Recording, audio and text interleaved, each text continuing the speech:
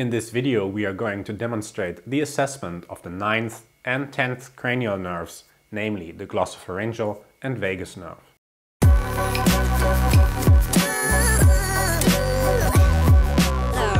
Get our very own assessment ebook and mobile app. Links are in the video description.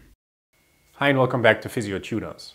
The glossopharyngeal and vagus nerve are commonly assessed together. They primarily innervate the muscles of the tongue and pharynx, the thorax, abdominal viscera and larynx. No diagnostic accuracy studies are available on these assessments, so the clinical value is unknown. The patient may report having difficulties swallowing, so asking the patient to take a sip on your command can be used as one assessment. You'd expect no delay or difficulty swallowing once you ask the patient to take the sip.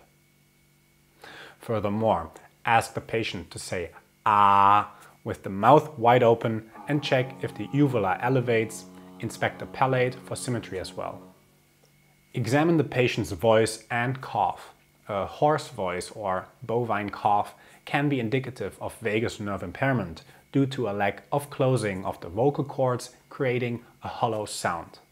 Lastly, the gag reflex can be assessed. Using a tongue depressor, touch the back of the tongue on both sides and check for a gag reflex. Alternatively, use a wisp of cotton and touch the soft palate. Alright, you can check out other cranial nerve assessments by clicking on the thumbnail on the left. If you want more videos like this, make sure to subscribe to our channel and leave a comment down below.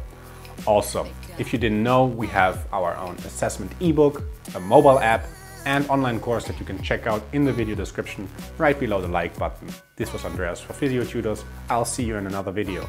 Bye.